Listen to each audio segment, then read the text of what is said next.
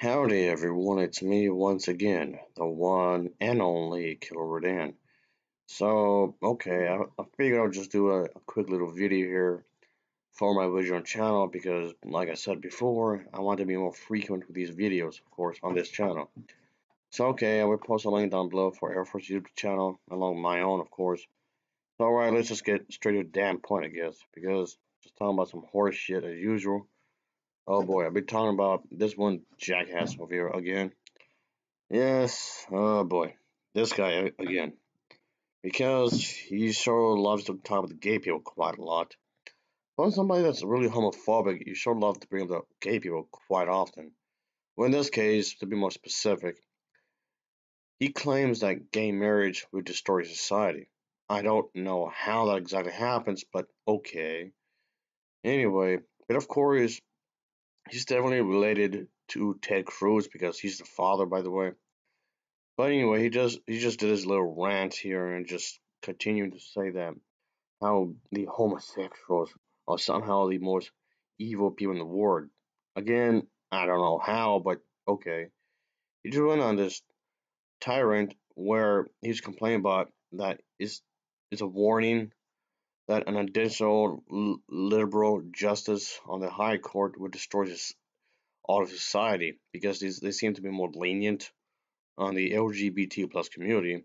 As he said that one more justice like that, he stated that one of the four justices appointed by President Clinton, I guess, and Obama at the time, and we will lose our right to keep and bear arms. So you're telling me that if gay people get uh, are married, somehow that translates to your weapons would be destroyed, like your guns and all that, and your right to self-defense would be destroyed somehow. The right to bear arms. How? What's the connection here? I, I don't get it.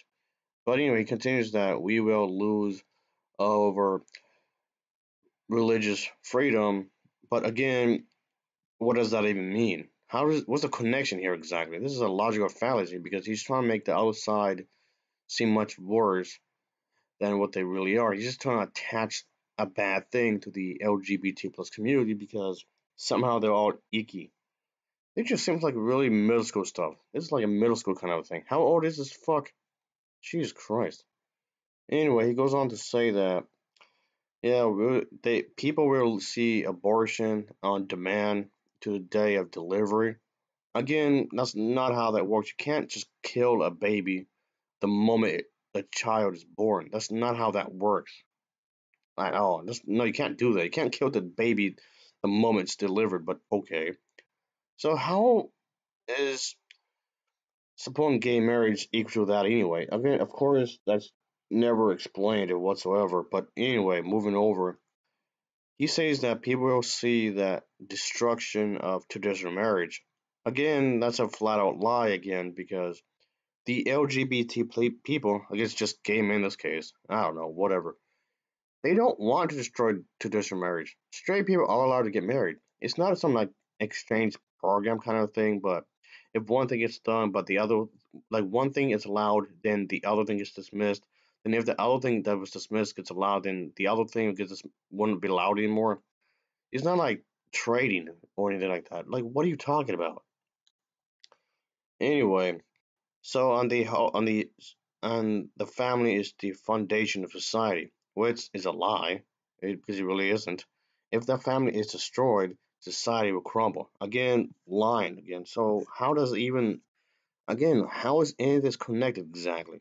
How does anything here is connected? I have no idea. And so there's gonna be so there's gonna be like massive amount of destruction in specific areas of society because I don't know, gay up to something somehow. I know he's trying to draw a, a connection how society's changing. Like I was saying a moment, ago, he's an old bastard. So anyway, yes, of course, the Supreme Court allowed in favor for marriage for marriage equality, of course, which obviously a lot of these conservatives would just complain about, oh no, traditional marriage is gone, traditional is gone, traditional marriage is gone, yada yada yada. Again, how does that even mean that? How does this marriage mean traditional marriage is gone? I don't know. How does that equal to that exactly? I have no idea. So yes, quite clearly, the LGBT community don't want to destroy anything. If it, if they are going to destroy anything, it's bigotry. If anything, it's that. They want to destroy bigotry, but not the other things that's been mentioned here. So all this is just fear mongering. It's just fear mongering to the to these when it comes to these kinds of people. Oh no, these people are different and whatnot. Oh no, you realize that gay people have been around before he was even born? Yes, you heard me. gay people have been around before he was even born. When his grandparents were around, they existed back then too, or even further back. It's just that these individuals like him are trying to really suppress gay history. Gay history has a history. Gay history has been around for much, much longer.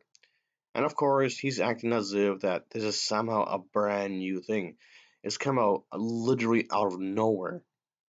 So it just seems odd that he just jumped to a conclusion, thinking that somehow something bad at some point will happen for some reason. I don't know. I know he's really trying to pinpoint that gay people do this and that as a result of the marriage equality. How does it even happen? I don't know. It's equality. It's not one more than the other. That's another thing I never understood when it comes to these individuals. They assume that gay people are going to get more rights, even though the rights are supposed to be equal. Equal is not more than. It's not the same thing. Your rights are not being replaced. You can still be religious and and support gay people. Those two things can happen. I don't know anymore. It just seems weird. Just don't be a bigot. How is it so hard to not be a bigot? Just, just bizarre to me.